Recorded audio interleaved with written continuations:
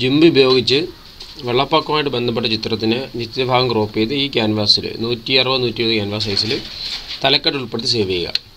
അപ്പം ആദ്യം ജിമ്പ് എടുക്കുക അപ്പം മിനിമൈസ് ചെയ്യാം.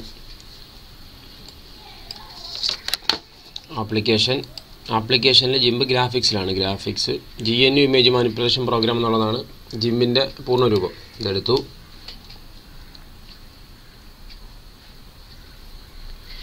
നമുക്ക് ആദ്യം ക്യാൻവാസ് സെറ്റ് ചെയ്യണം. ഇതിനുവേണ്ടി ഫയൽ ന്യൂ ഇവിടെ നൂറ്റി അറുപത്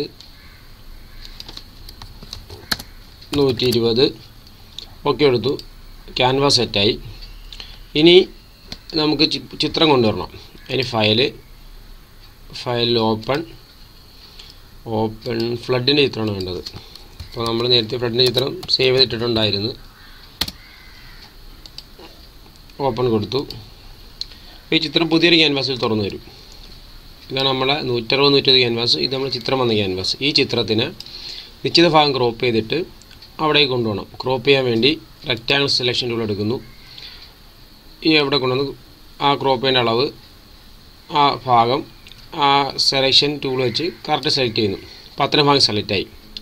ഇനി ഇതിനകത്ത് വെച്ചിട്ട് റൈറ്റ് ക്ലിക്ക് ചെയ്ത് എഡിറ്റിൽ കോപ്പി എടുക്കുക എന്നിട്ട് ഇത് മാറ്റി വെച്ചിട്ട് നമ്മുടെ പഴയ ഇതിലേക്ക് തിരിച്ചു പോവുക നമ്മുടെ ക്യാൻവാസിലേക്ക്. എന്നിട്ട് അവിടെ പോയി അവിടെ റൈറ്റ് ക്ലിക്ക് ചെയ്യുക എഡിറ്റ് എടുക്കുക പേസ്റ്റ് കൊടുക്കുക.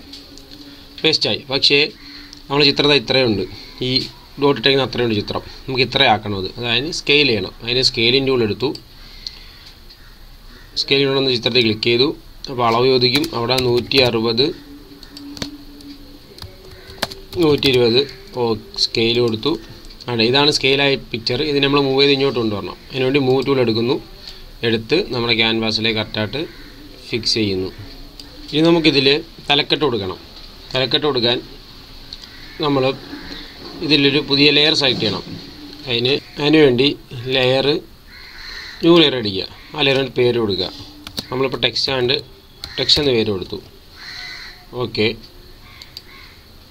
ഇപ്പം പുതിയ ലെയർ പുതിയ ലെയറായി ഇനി ആ ലെയർ സെലക്ട് ചെയ്യുക. ആ ലെയർ സെലക്റ്റായി എന്നിട്ട് ഇതായി ടെക്സ്റ്റിന്റെ ഏന്നുള്ള ടെക്സ്റ്റ് ടൂൾ സെലക്ട് ചെയ്യുക. നമ്മൾ ക്യാൻവാസിൽ ക്ലിക്ക് ചെയ്യുക. ടൈപ്പ് ചെയ്യാനുള്ള ഓപ്ഷൻ വന്നു. ഇനി ഇത് ഡബിൾ ക്ലിക്ക് ഇനി ടൈപ്പ് ചെയ്താൽ അവിടെ ആവും. അപ്പോൾ നമുക്ക് മലയാളത്തിലാണ് ടൈപ്പ് ചെയ്യേണ്ടത്. ഭാഷ മാറ്റി. നമുക്ക് ഒരുമയുടെ വിജയം ഒന്ന് ടൈപ്പ് ചെയ്യാം.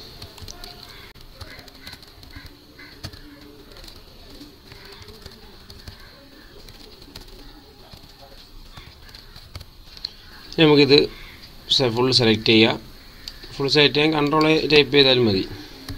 അപ്പോൾ ഫുൾ സെലക്ട് ആവും. എന്നിട്ട് ഈ സാൻസ് എന്നുള്ളത് സാൻസ് എന്നുള്ളത് മാറ്റി ഉറൂബ് എന്നാക്കാം. നമ്മളെ ഫോണ്ടിന്റെ പേരാണ് ഉറൂബ്. ഉറൂബ് ബോൾഡ് ഫോണ്ട് ബോൾഡായി ഉറൂബ് ബോൾഡ് അതായത് ആ സ്റ്റൈലിലേക്ക് മാറി. ഇനി കളർ കളർ മാറ്റി ഇവിടെ ക്ലിക്ക് ചെയ്യുക. നമുക്ക് റെഡ് കൊടുക്കുക കറണ്ട് വന്ന് കളറായി ഓക്കെ ഇനി നമ്മളിതിന് നീക്കണമെങ്കിൽ മൂവ് ടൂൾ എടുക്കുക.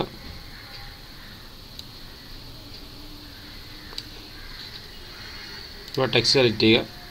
എന്നിട്ട് ഇതിനെങ്ങോട്ടെന്ന് വെച്ചാൽ മൂവ് ചെയ്ത് വേണ്ട സ്ഥലത്തേക്ക് വെക്കുക. റെഡിയായി ഫയൽ എടുക്കുക. സേവ് കൊടുക്കുക. ഇവിടെ നമ്മൾ ചെയ്യുമ്പോൾ ലെയർ എടുക്കുക ചെയ്ത് കഴിഞ്ഞാൽ ഇത് നമ്മളെ ഈ ടെക്സ്റ്റ് നീക്കേണ്ടി വരുമ്പോൾ ലെയർ നമ്മളെ ബാക്ക്ഗ്രൗണ്ട് ഉൾപ്പെടെ നീങ്ങിപ്പോകും. അതിനാണ് പുതിയ ലെയർ എടുത്തിട്ട് ടെക്സ്റ്റ് ക്രിയേറ്റ് ചെയ്യുന്നത്.